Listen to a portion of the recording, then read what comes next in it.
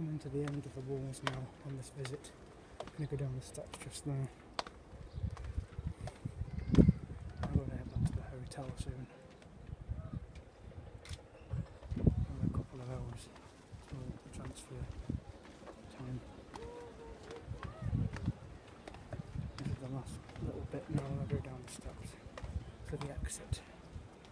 So I've still got the fort on this ticket, but I'm not going to use it because I don't have the time. I'd rather do the walls in the fort anyway. I've been on the fort for about three times. So I'm quite happy with the walls more because of the views.